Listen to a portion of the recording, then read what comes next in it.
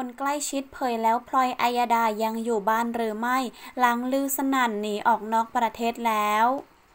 จากกรณีกระแสลือสนั่นว่าพลอยอัยดาภรยากันกันตาถาวรหนีออกนอกประเทศ มีการตรวจสอบว่าเป็นไปตามข่าวลือว่าหนีไปแล้วจริงหรือไม่นั้น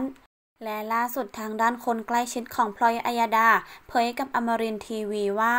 หลังจากมีการสอบถามเรื่องของพลอยว่า ตอนนี้ไม่สะดวกพูดคุยและให้ข้อมูลใด ๆ ไม่มีข้อมูลอะไรจะให้เพิ่มเติม ส่วนตัวพลอยยังอยู่ที่บ้าน ไม่ได้หายไปไหน และไม่ได้หนีออกนอกประเทศ ตามที่เป็นข่าวด้วย โดยก่อนหน้านั้นตานารากรก็ได้โพสต์ข้อความว่า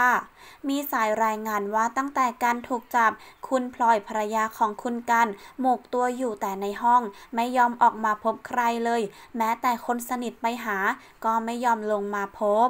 รู้อย่างนี้เป็นห่วงหมาชิบะหลายตัวของกันเลย การเขารักหมาชิบะของเขามาก หมามันจะรู้ไหมว่าเจ้านายที่เคยกอดหายไปไหน จะมีใครคอยดูแลหมาบ้างไหมที่เราติดตามกัน ก็เพราะว่าชอบน้องหมาเนี่ยแหละ